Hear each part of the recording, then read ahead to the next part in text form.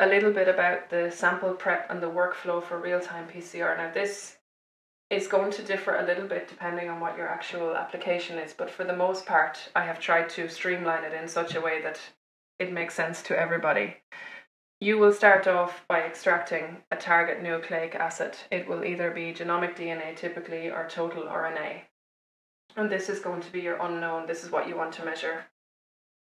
And, you know, I've said that real time PCR is a highly quantitative and it's a highly powerful technique, but it's only going to give you high quality data if you use high quality material.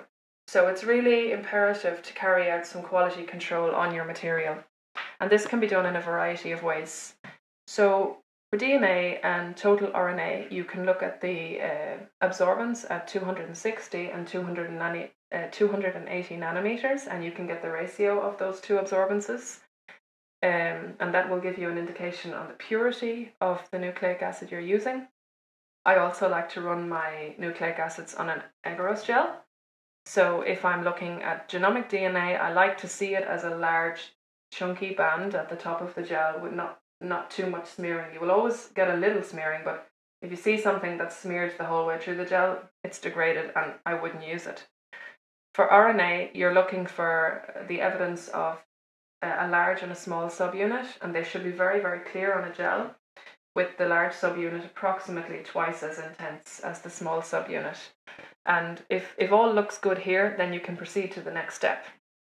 And the processing of the sample will be will be very different from from one uh, field of research to the other.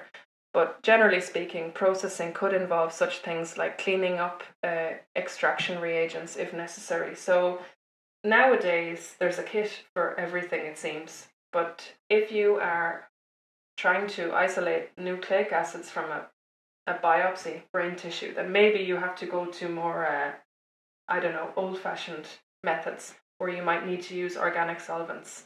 And these organic solvents, they can be uh, they can be tricky in downstream reactions, so you might want to get rid of those. Again, you can buy cleanup kits to do that.